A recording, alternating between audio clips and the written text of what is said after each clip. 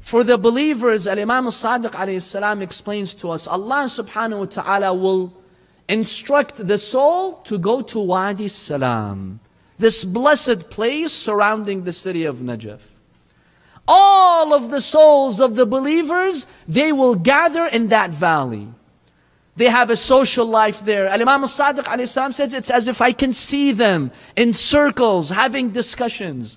And when a newcomer comes, joins them, everyone rushes to greet that person and to ask about what's happening in this world, what's happening in this life. For example, one of the questions they will ask this new soul, this new comer, they will ask him, so and so person, is he still dead or alive? If he says he's alive, so they will try to wait for that person. If he tells them that he has died, but they don't find him there, they'll realize that that person was doomed. They realize that that person was taken to hell because he's not to be found there.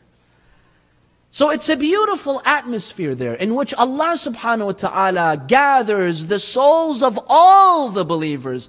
And Allah creates a temporary paradise for the believers to enjoy themselves there till the day of judgment.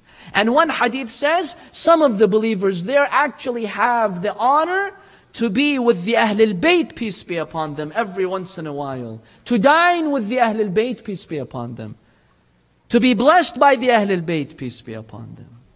And as for the unbelievers, Allah subhanahu wa ta'ala will instruct their souls to go to a valley in Yemen called Wadi Barahut. They'll be punished in that valley till the day of judgment. Yes, is there punishment in Barzakh? Absolutely. The Holy Quran, what does it say? In speaking about Fir'aun, the evil Pharaoh and his evil people. النار يعرضون عليها غدوا وعشيا Every morning, every night, Allah will expose them to the fire. And then on the day of judgment, أدخلوا آل فرعون أشد العذاب. Then there's that permanent hell on the day of judgment.